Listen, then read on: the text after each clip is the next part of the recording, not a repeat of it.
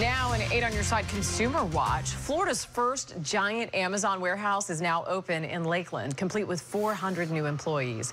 Eagle 8 shot video of the 1 million square foot warehouse responsible for packing and shipping large items to online customers.